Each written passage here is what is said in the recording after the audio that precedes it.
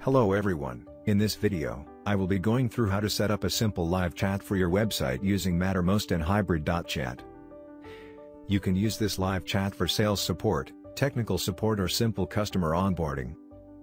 So first of all, log into your Hybrid.chat account.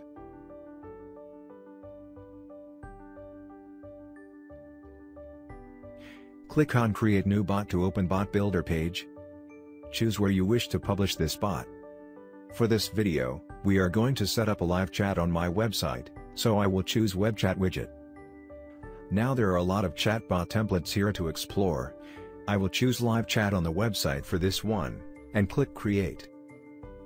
This generates an embed code for your chat widget, that you can paste onto your website to start chatting with your customers.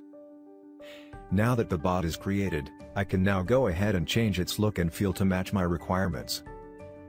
I can add the name of the agent, or department. Here, I can add a subtitle. Now, I can add a welcome message. This is the message that appears in the chat blob and invites people to start the chat. Under Preferences, I can specify the name of this widget, let's say my site live chat.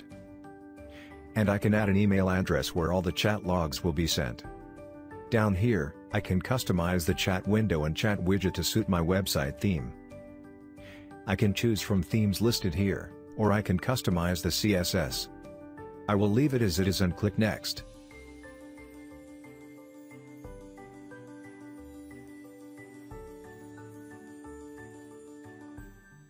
Here it is asking which chat software I want to connect to. I will go ahead and select Mattermost. Here is where Mattermost is asking me to enter the host ID, username and password. Enter the details and complete the process.